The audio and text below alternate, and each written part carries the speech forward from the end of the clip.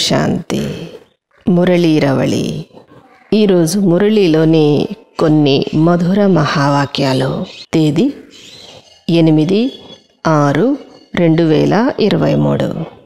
బాబా చెప్తున్నారు మధురమైన పిల్లలారా బాబాకు అందరిపైన దయయే కలుగుతుంది.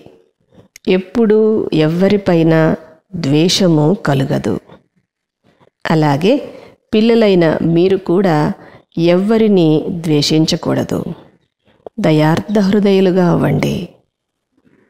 దయార్థ హృదయుడైన శివబాబాకు మనుష్యాత్మలను పంచతత్వాలను పతితము నుండి పావనముగా చేయాలనే ప్లాను ఉంది. వారే ముక్తి జీవన్ముక్తుల వారసత్వాన్ని ఇచ్చేవారు కూడా. ఈ పనిలో పిల్లలైన మీరు కూడా బాబాకు పూర్తిగా సహాయకులు. కావున మొదట మీపై మీరు దయ చూపించుకోండి. తండ్రి శ్రీమతంపై నడుస్తూ స్వయాన్ని పావనముగా చేసుకోండి. ఆ తరువాతనే అందరినీ వికారాల రూపీ దుర్గంధము నుండి బయటకు తీసే సేవను చేయాలి. దయార్థ హృదయుడైన బాబా అంటున్నారు. పిల్లలారా ఈ మాయ మిమ్మల్ని పతితముగా దుఃఖితునిగా చేసింది. ఇది మీకు తెలియదు నాకు తెలుసు. నేను మిమ్మల్ని సుఖపు సంబంధంలోనికి పంపాను. డ్రామా అనుసారము మాయ మిమ్మల్ని దుఃఖితునిగా చేసింది. ఇప్పుడు నేనే స్వయంగా వచ్చి రాజ్యభాగ్యమును ఇస్తున్నాను. నేను విచిత్రుడను. మీకు రాజయోగాన్ని నేర్పించేది కూడా నేనే శ్రీకృష్ణుడు కాదు. పిల్లలు మీరు నా కొరకు లేక పూర్తి విశ్వం కొరకు నా మతంపై నడవండి. దయార్థ హృదయులుగా అవ్వండి. నేను గాడ్ ఫాదర్ను గీతా భగవానుడను కూడా. సత్యమునే వినిపిస్తాను. ఆదిదేవుడైన బ్రహ్మ ద్వారా మీకు అనేక గుహ్యమైన విషయాలను వినిపిస్తున్నాను. మీరు విశాల బుద్ధితో అర్థము చేసుకోండి. నేను ఒక్కడినే పూర్తి తత్వాలను సహితంగా మొత్తం సృష్టి అంతటిపైన దయను చూపించగలను.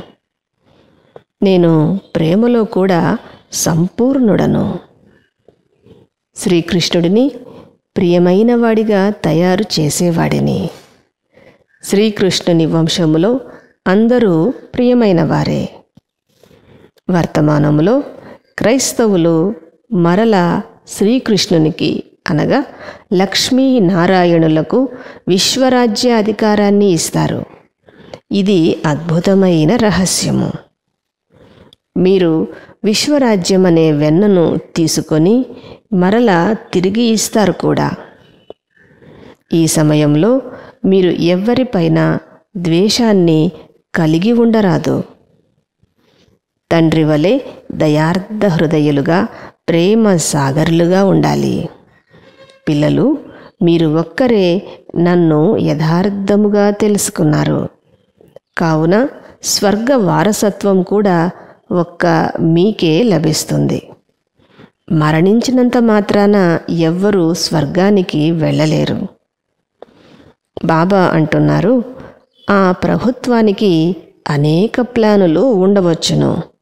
కానీ నాకు మాత్రం పతిత్త మనుష్యులను పావన దేవీ దేవతలుగా తయారు చేసే ప్లాను ఉంది.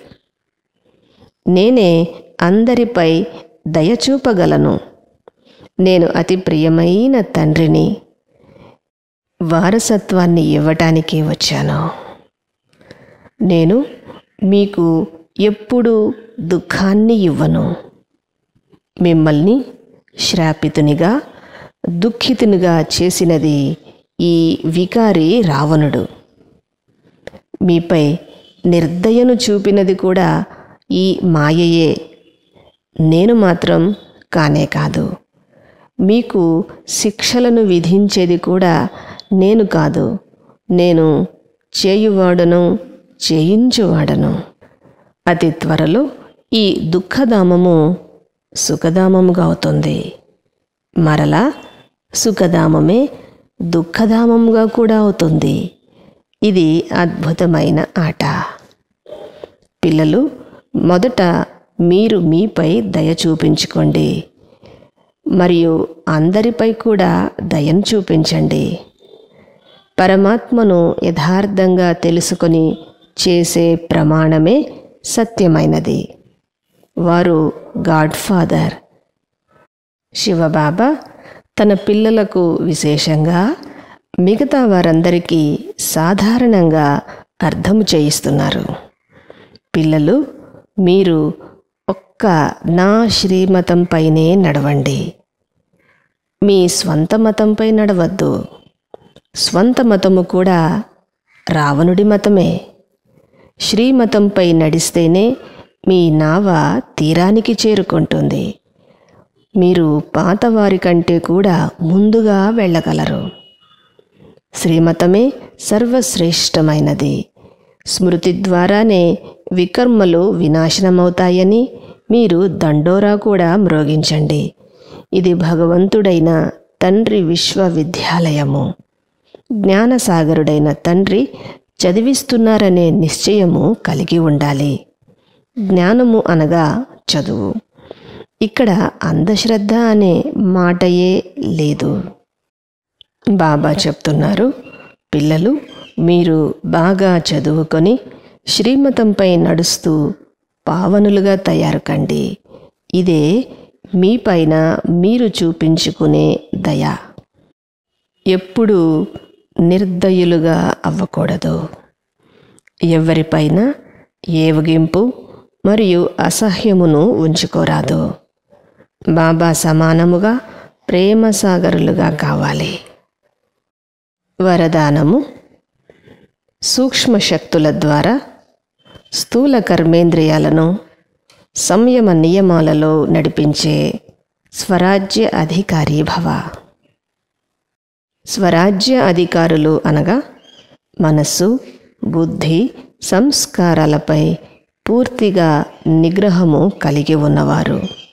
ఎవరైతే తమ సూక్ష్మ శక్తులను నిగ్రహించుకోగలుగుతారో వారు ఇతరులను కూడా హ్యాండిల్ చేయగలరు.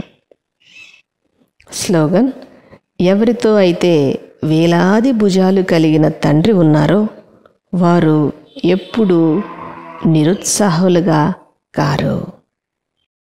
మధురాతి మధురమైన ఆత్మీక పిల్లలకు మాతాపితల ప్రియ స్మృతులు మరియు గుడ్ మార్నింగ్. ఆత్మీక పిల్లలకు ఆత్మీక తండ్రి నమస్తే. ఓం శాంతి.